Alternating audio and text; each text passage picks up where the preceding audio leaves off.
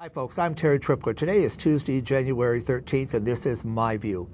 Uh, yesterday, January 12th, Chris Elliott in his blog relayed the story of a woman who flew from Miami to Dallas Fort Worth on American Airlines, and she was really thrilled with her flight attendant. And so thrilled, she wrote a letter to American. You know, we don't get many of those because we tend to complain. We don't tend to write to compliment. So, so kudos to her for writing to American. She copied in Chris, and it was interesting to see what all this flight attendant had done for the passengers. She definitely went above and beyond uh, the call of duty.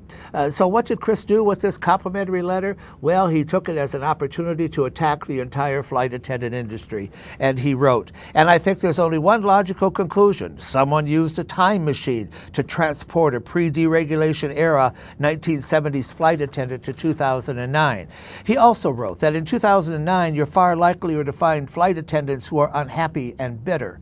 And then he writes, These crew members are no longer here to make our flight more enjoyable. Their motto is, We're here to save your butt, not kiss it. Well, first and foremost, yes, they are here to save our butts. You know, I was sitting in first class not too long ago on a flight, and a flight attendant about 100, 110 pounds came with a beverage cart, put the beverage cart, uh, she stood ahead of the cockpit, then the beverage cart, and waited while the pilot came out of the cockpit, went into the lavatory. When the pilot left the lavatory, went back into the cockpit, then she moved the beverage cart and went about her business. So here she was, 110 pounds and a beverage cart, and she was the first line of defense should anyone attempt to get to that cockpit, no matter what means they were going to use. She was the one there to try to stop him. So, yes, she was there to save our butts. I think it's time that we praise some of these flight attendants for the work that they have done. Things have changed since September 11th, and we have to understand that and we have to realize that.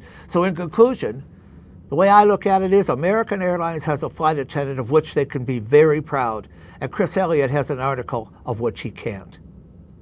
I'm Terry Trippler, and that's my view.